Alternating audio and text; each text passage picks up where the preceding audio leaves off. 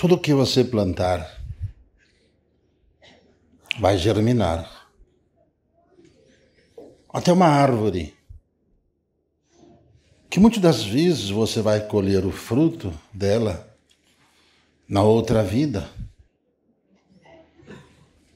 Todos os lugares por onde tu passa, existe ali uma ligação, uma trajetória de sua existência. Você dá continuidade à sua vida de onde você para. É preciso aprender valorizar o que tem, os lugares que você tem, as coisas que você deixou na terra, que você voltará para colher os frutos ou para corrigir também.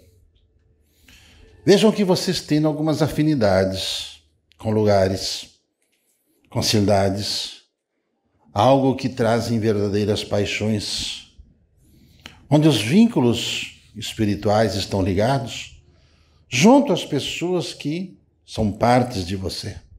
Isso é preciso tratar com respeito, com dignidade, com maturidade, para tu seguir a sua jornada rumo à sublimação do que você é.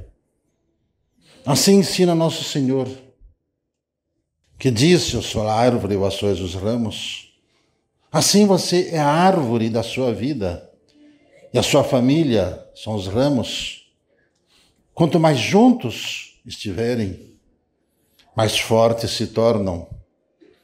Cada galho que se quebra de uma árvore, cada membro de uma família que se desloca e abandona, trazem vínculos e prerrogativas para próximas gerações para poder recompor esse galho quebrado, para poder recompor esse ser de sua família que abandonou, que virou as costas para os pais, para os irmãos, esqueceu essas raízes.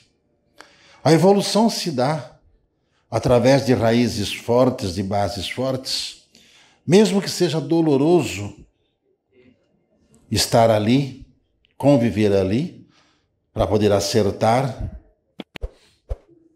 aquilo que no passado errado foi constituído.